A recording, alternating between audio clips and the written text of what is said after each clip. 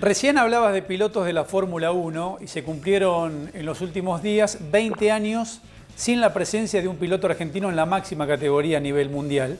Y yo le preguntaba a tus colegas aquí en Argentina si nosotros podíamos seguir soñando o esa llama ya definitivamente se iba apagando e iba desapareciendo. ¿Cuál es tu punto de vista?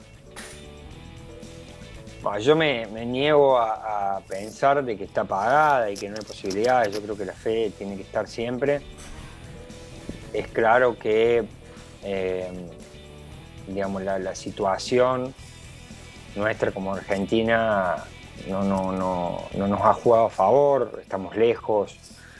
Eh, hoy, sobre todo, los pilotos de la Fórmula 1 vienen con un respaldo muy grande de atrás, además de ser pilotos súper talentosos.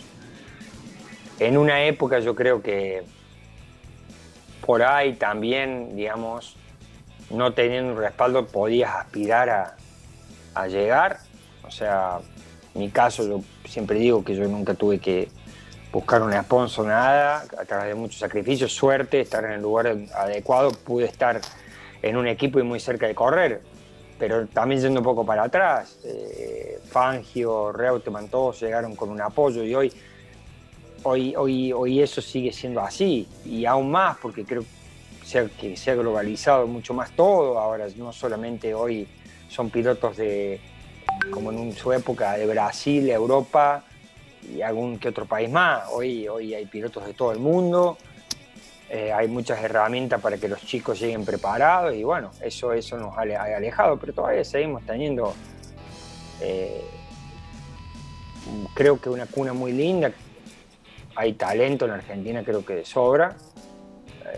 Ha generado muchos pilotos talentosos Argentina y, y hay, hay algunos chicos que lo están, la están peleando también y ojalá, ojalá que sí, ojalá que sí. Yo sé que es difícil, pero bueno, creo que, si uno realmente em, se propone algo y la pelea, también las cosas pueden, pueden llegar a darse.